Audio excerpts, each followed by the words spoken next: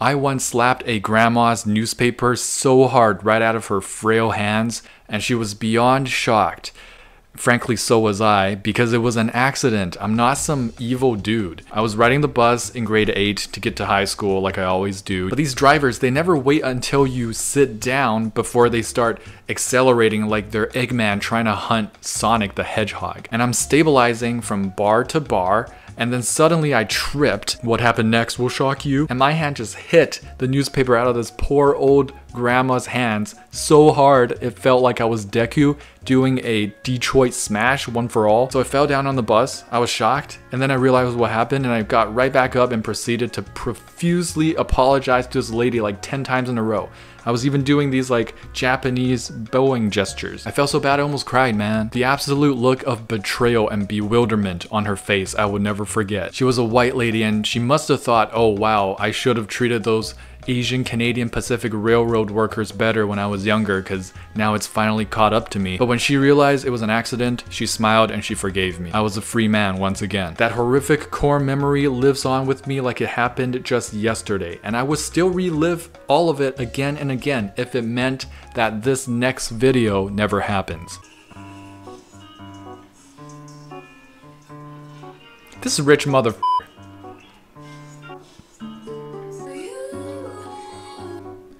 There it is. I'm immediately sweaty just from looking at that. That's the second time I've gone through that. The first time in private, the second time for all of you. This is what I do. Are you impressed? I look at horrific things on the internet and I share them with you so that you have to look at it with me. I did not see any salt. Let's just start from there. Those are saltwater fish, clownfish if you're not familiar. I'm not a saltwater reefer guy, but even I know Nemo. So immediately they're dying. As soon as, I mean, yeah, okay, we're all dying, sure. You're so edgy. But as soon as these guys are introduced, they're just suffering. Imagine being put on Mars without a suit. Probably not as bad as that, but you get the point. I have a gut feeling that none of these fish are still alive. I hope I'm wrong. Probably not, as I explained in my other comment, clownfish are aggressive if they don't think they have enough to go around and will probably kill each other. They've basically done the saltwater equivalent of throwing a few bettas into a 3 gallon tank without barriers. I feel like the equivalent of that is actually throwing 3 bettas into saltwater. Both of you two assume they didn't just dump them in fresh water and kill them long before the ammonia poisoning will. Yeah, it's like this person's trying to get to a type 3 civilization when in fact they're stuck in like negative 1 type civilization. They're not even amoeba at this point. Did they even add salt? To be fair, I didn't see any table salt either. Yeah, they added salt. The clownfish would have died before they had the chance to film the different shots of the tank if they didn't add salt. You'd be surprised how long a fish can survive a freshwater dip. Okay, now I'm...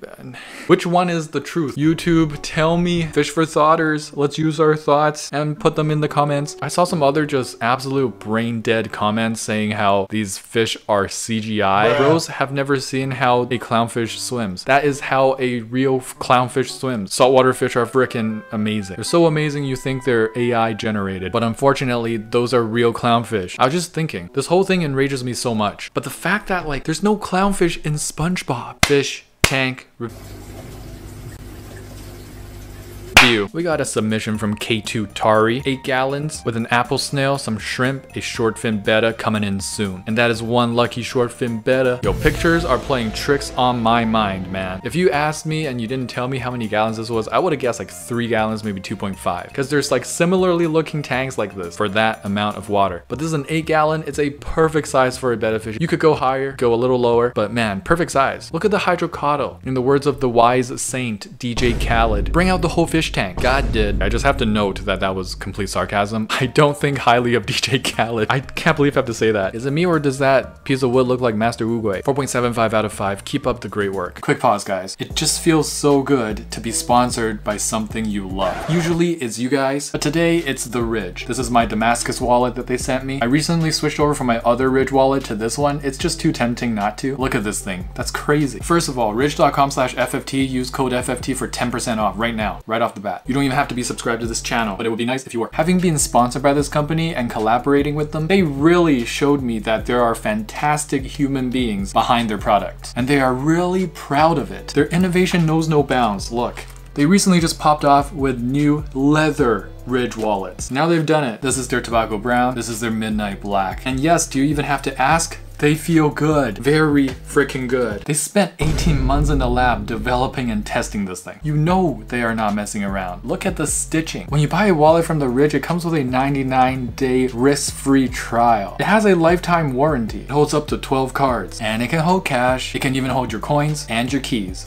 Again, that's ridge.com slash FFT. Use code FFT to get 10% off right now. Gotta give it to the Snapchat AI. It knows its stuff. What's a good sized tank for a betta fish? Is at least 5 gallons. Enough space to swim and explore. And it will also make it easier to maintain good water quality. If you can, a 10 gallon tank is even better. Very nice. I don't know if you can read that. I don't know what happened with a screenshot, but I read it for you. That's right, because I love you. You don't have to say it back today. Flower line today sent in this 150 gallon tank. Just hold up. My reference of sizes when it comes to cameras is so crap? Or are those corridors huge? Are those Attack on Titan corridors? How is this 150 gallons? Do you mean 150 liters? Because ain't no way, right? These are gigantic fish for 150 gallons. Someone tell me what up with this. Someone timestamp this and tell me if I'm right or wrong, please. If this is truly 150 gallons, my reference of all fish sizes and stuff is like messed the hell up right now. Let me just check 150 liters real quick.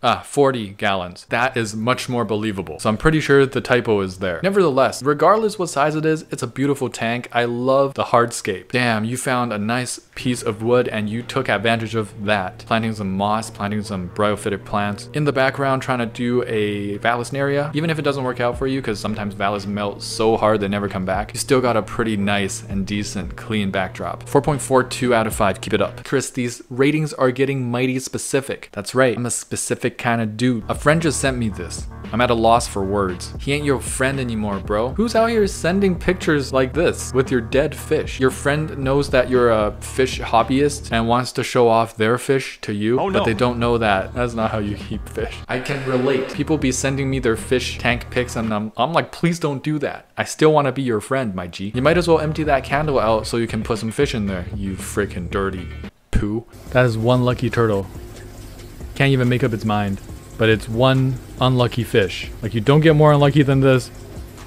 Rest in peace. There's just one tiger barb in there. They smart. See how that tiger barb is far away from the mouth of the turtle. They don't mess around. They don't play with their lives. We got some uh, active blackberries. They're very swimmy blackberries. That's crazy.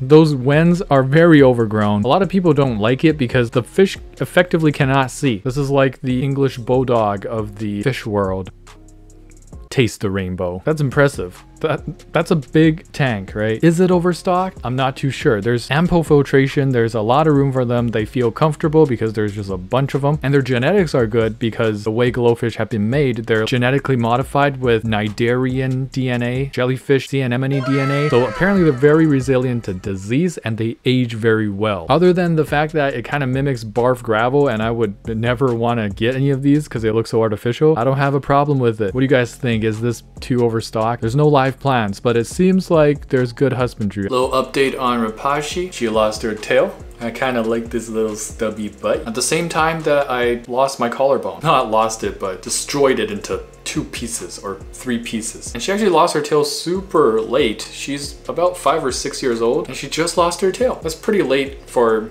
gecko years, I believe. And it was nothing special. I was cleaning the enclosure and she got spooked and that was the end of that. The tail wiggled for like 30 minutes afterwards. I was super spooked by that. Scared the crap out of me actually. I can't believe I've had Repashy for five to six years now. I gotta do the math on that, but wow, you're getting to be a little old there, fella. It's been a great half a decade with you, buddy, even though you've done literally nothing but exist. what a perfect host. 70th best host of FTR, ladies and gentlemen. Rapdasho herself. What do you have to say for yourself, Rapdasho?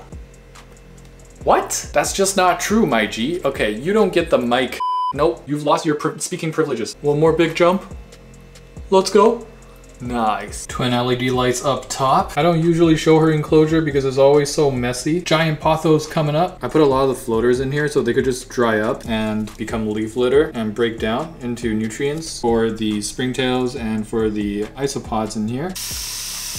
I got rid of a lot of my growth bins, but this is the last one I have. Remember I took a lot of crypts out of this recently. There's only three little things left. Growing back really well though. I have high hopes. These two actually just broke off when I was taking the others out and I decided to leave them. They were actually just two little pieces of root, but I'm so glad I left them because they're growing into their own plant and they're gonna propagate for me too. Put in some flame moss. I have some Java moss. I have some Cameroon moss, which is really cool. And I have some Swassertang. I'm just taking a chance. Oh yeah, there's some pearl weed back in the corner there. Found at a nail salon near my house. Barely any room for these guys to move and almost all are covered in abrasions and lesions. Ah, we got the fluval filter down the bottom. Preposterous. Giving fluval a bad name here, bro. Fluval ain't got nothing to do with these decisions. It's the covered in abrasions and lesions that does it for me. Why do you need, it's a nail salon. Creating much more work for yourself and you're making animals feel bad, bro. They gotta live their whole lives in there. You could save so much time from badly managing and trying to upkeep this fish tank into customer service and satisfaction business school. I suggest it just for you. Dynamic Alpha 48. The terracotta, it's such a nice touch. You gotta get a pleco, bro. Gotta get a bristle nose up in here. Unless it's not big enough. Maybe it's not. Looks like a fluval edge, six gallon. Never mind. Don't listen to me. Maybe some Otocinclus? Maybe pygmy cories? When that carpet gets going, whoo-wee. Four out of five, keep it up. Saw this at a PetSmart of all places. Survive doesn't equal thrive. Yo, they should put like a cross for the fish tank photo, fish tank graphic right there as well. Cause that's kind of confusing. Like, is that a good example or no? They should also just turn that into a betta fish. It doesn't have to be a goldfish. Goldfish are even worse, but putting a betta fish in a small bowl like that with nothing and some colorful gravel, that's really bad already. Asen Fair sent in this cute little portrait photo of their betta fish in a planted, nicely planted tank with a betta log. Just a macro photo that says a lot about good husbandry. The name of their betta fish is Starscream. That's kick-ass, bro. Five out of five name. This tank sent in by Zoth. It's a good start for a betta fish tank. I think the husbandry is there. Got live plants. They look a little bit like they're struggling. Root tabs or dirt the thing. Or switch to aqua soil. I like the hardscape actually. It's like a stump. It's a good start for now a 3.65 out of 5. Keep up the great work. Local golfing range. Again, why do you, this is okay. It's about 50 to 60 gallons. The biggest pleco I've personally ever seen. If it's like 50 to 60 gallons, I think it's still kind of bad, but not nowhere near as bad as we've seen it on this channel. And that is one of the biggest plecos I've ever seen as well. Thick. Must be eating good. Decently taken care of to be able to thrive like that. It's an accomplishment to have a pleco grow that big. Corporate needs you to find the difference between this picture and this picture. Wow, this Emerald Dwarf Rasbora is going through its emo Korean drama phase. Watch too many K-drama. It's in a music video right now. Do not disturb. Funny that they all belong to the same order. Hated aquarium fish annual meeting. Whoa, whoa, hold up.